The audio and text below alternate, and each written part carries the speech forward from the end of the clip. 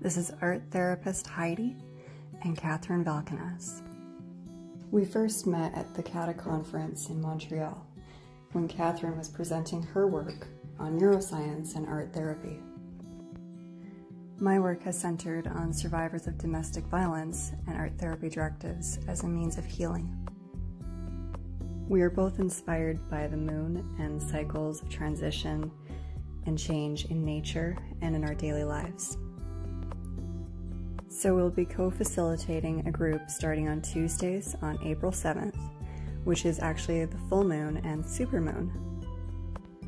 The purpose of this group will be to help with empowerment, self-mastery, connection to self, nature, others, to build inner strengths and learn how to make intuitive art and balance both the dark and the light within ourselves. Like the moon, we all go through phases of change and transition.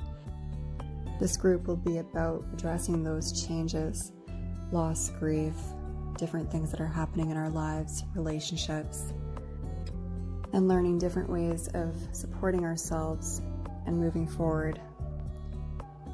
For more information on the group, you can contact us on our Facebook pages, Instagram, or on the link below. We're very excited to meet all of the group members and to begin this seven week journey. Thanks for watching, and we'll see you soon.